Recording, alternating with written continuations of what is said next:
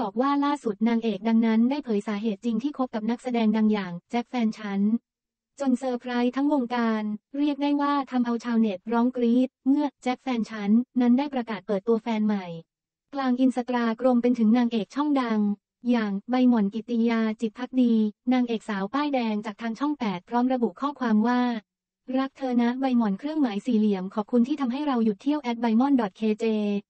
ต้องบอกว่าล่าสุดนางเอกดังนั้นได้เผยสาเหตุจริงที่คบกับนักแสดงดังอย่างแจ็คแฟนฉัน จนเซอร์ไพรส์ทั้งวงการ โดยเธอนั้นได้กล่าวว่า ชอบพี่แจ็คเพราะเป็นคนอารมณ์ดีจิตใจดีดูแลดีน่ารักอยู่ด้วยแล้วมีความสุข ส่วนตัวเป็นคนชอบจ้ำม่ำตลกอยู่ด้วยแล้วไม่เครียดแล้วพี่แจ็คตรงสเปค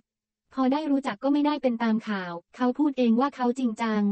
เรื่องห้ามพี่แจ็คลงอ่างจริง ๆ ไม่เชิงห้าม แต่บอกเขาว่ามีหนูแล้วจะลงอ่างทำไม เก็บเงินไว้ดีกว่าเรื่องนี้หนูไม่ได้เปลี่ยนใครไม่เคยบังคับว่าเลิกเที่ยว แต่พี่แจ็คเป็นคนพูดเองว่าจะเลิกเที่ยวเอง จะไม่นอกลู่นอกทางเพราะให้เกียรติเรา เขาจะปรับเองเพื่อเรา